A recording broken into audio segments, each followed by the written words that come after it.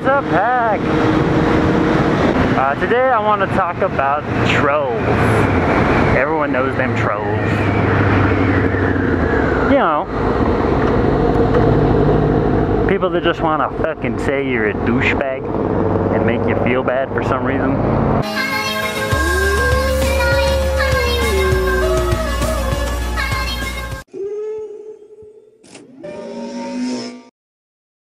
A new motovlogger, but you're worried that you can't handle the hate?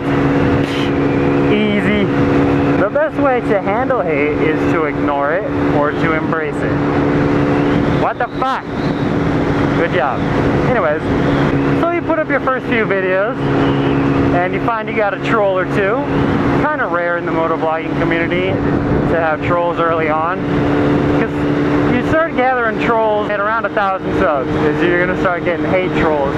Now, like I said, there's two ways to deal with it. You can completely ignore them, which is uh, one of the best ways to deal with the troll.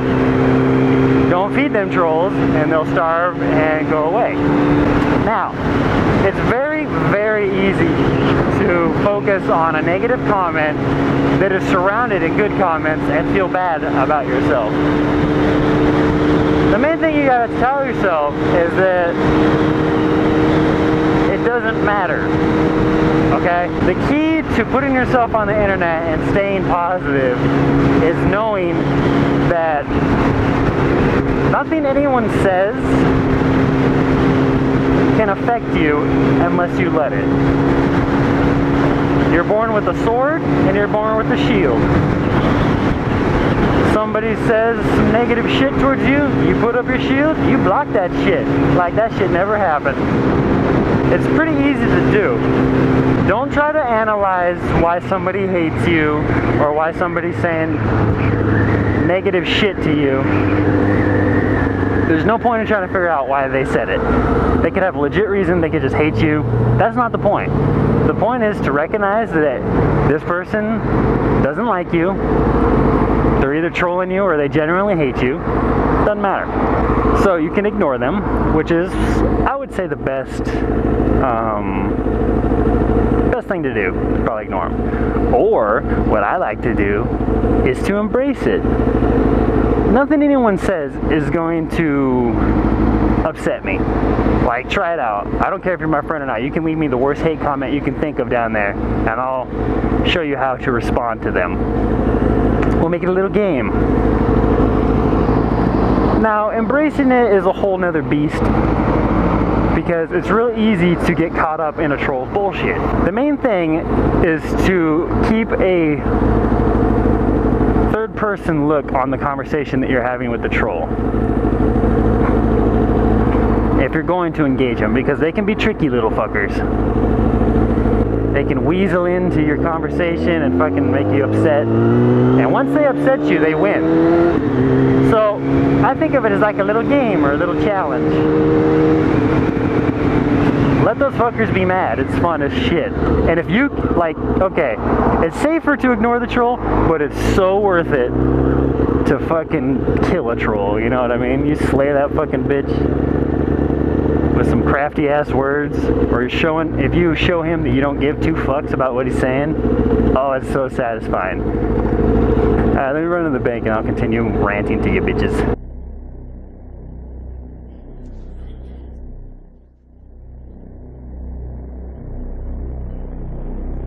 Alright, haters, I'm back. It was so nice in the bank, and I come out here, it's fucking hot as dick shits. I know that didn't make any sense. Who gives a shit? If you're gonna interact and feed the trolls, you can't um, be upset if they beat you. you know what I mean?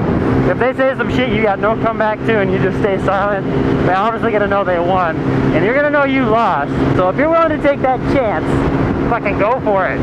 The internet can be whatever you want it to be. If you fucking want it to be a fun, playful place, that's what it can be.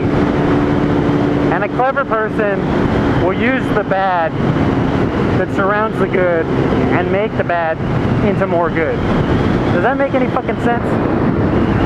But if I was gonna give some advice to new vloggers, don't give a shit about what trolls say and definitely do not let that affect if you're going to motovlog or not or if say you start motovlogging and you do get some negative shit or if it, in general if anything you do on the internet if you get some negativity just fucking put up your shield block that shit doesn't affect anything you do and do your very best to not focus on that negative comment. You get one negative comment and it starts to ruin your day, go back to your videos and start looking at all that good comments and all the friends you're making. You could have more good than bad, but you can't have good without bad. Make sure to thumbs down this button and leave a nasty, terrible, negative comment down below. You guys will see me in the next one. Have a good day, Pack. And fuck all the trolls. Not this one, but the next one. Oh. The door? Not this one, but that one. Fuck you talking about, girl? Shit, damn.